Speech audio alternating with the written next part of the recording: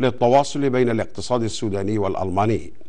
وأضاف أن المؤتمر أتاح فرصة لأول مرة للمستثمرين ورجال الأعمال الألمان للتعرف على الاقتصاد السوداني وما يذخر به السودان من مقومات الاستثمار. كما أكد عدد من المتحدثين أكدوا أن المؤتمر يمثل أهمية كبرى بالنسبة للسودان خاصة وأن الاقتصاد الألماني يعد ثالث اقتصاد في العالم.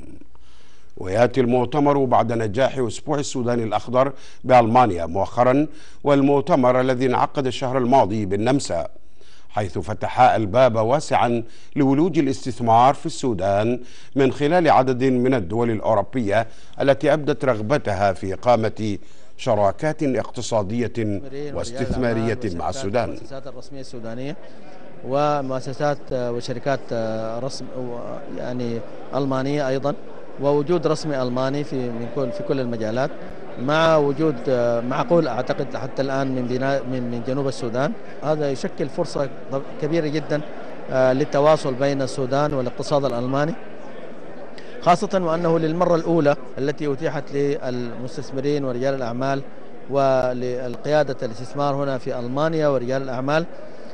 للتعرف على الاقتصاد السوداني. الخارجية بتعمل جاهدة عبر الدبلوماسية وبالتحديد عبر الدبلوماسية الاقتصادية على التفاعل الإيجابي والتعاون وتشجيع الاستثمار وتشجيع العمل الاقتصادي مع أوروبا. وده هذا طبعا بديهي فيه مصلحة للسودان بدأ دي في النمسا في شهر تسعة الماضي ووصل الآن لبرلين في العشر أيام الأخيرة. السودان كان عنده حضور قوي في برلين كما لاحظتوا. بدأ في العشر أيام من يوم 19 في المعرض الزراعي ال International Green Week.